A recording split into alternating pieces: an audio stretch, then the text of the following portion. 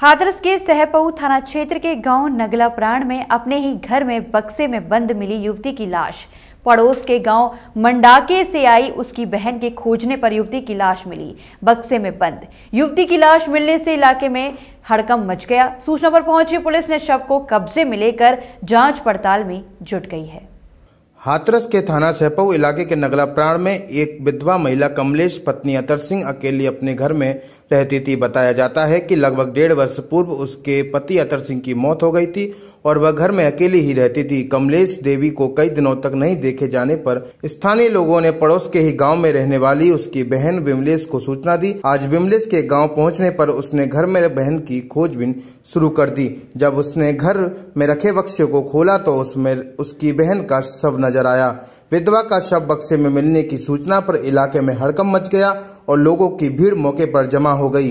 वहीं इस सूचना पर पहुँची सहपो पुलिस के द्वारा शव को अपने कब्जे में लेकर पोस्टमार्टम के लिए भेज दिया है और मामले की जाँच पड़ताल में जुट गई है। वहीं पुलिस क्षेत्राधिकारी सादाबाद के द्वारा बताया गया कि मृतका महिला का अपने भतीजे से संपत्ति का विवाद चल रहा था और उसकी भूमिका भी संदिग्ध नज़र आई है। मामले की तहरीर प्राप्त कर अभियोग पंजीकृत कर लिया गया है और जाँच पड़ताल की जा रही है। कहाँ की रहने वाली है? कहाँ रहती हैं आप? अच्छा ये, ये कौन है आपकी बहन है? खास बहन है आपकी?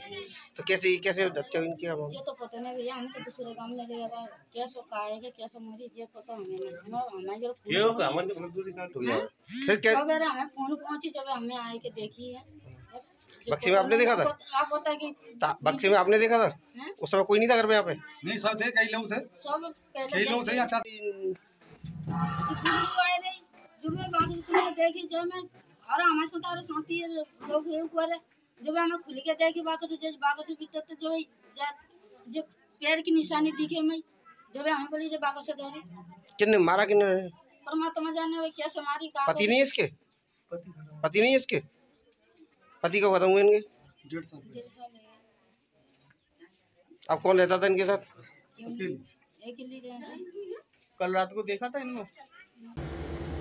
आज दिनांक पाँच आठ इक्कीस को समय साढ़े ग्यारह बजे सूचना प्राप्त हुई कि थाना सैपव के गाँव नगला प्राण में एक वृद्ध महिला, कमलेश देवी, पत्नी स्वर्गीय अतर सिंह, उम्र करीब पैंसठ वर्ष का शव उसके घर में पड़ा हुआ है। इस सूचना पर तत्काल मैं क्षेत्राधिकारी शादाबाद एवं एसएचओ सैपऊ मैं पुलिस बल के घटनास्थल पर पहुँचे एवं घटनास्थल का निरीक्षण किया। सब के पंचायतनामा की कार्रवाई कर सबको पोस्टमार्टम हेतु भिजवाया गया।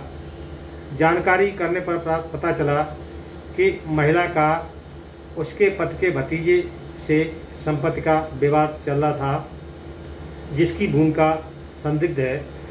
घटनास्थल पर फॉरेंसिक टीम एवं डॉग स्क्वाड टीम द्वारा पहुंचकर भी निरीक्षण किया गया।